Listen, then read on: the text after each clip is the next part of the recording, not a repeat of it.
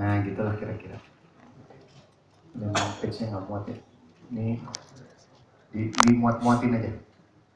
Nggak usah pakai spasi deh. Hmm, landing page. Ah, gitu. Mantap.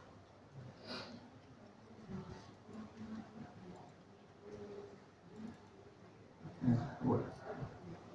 Terus apa lagi ya?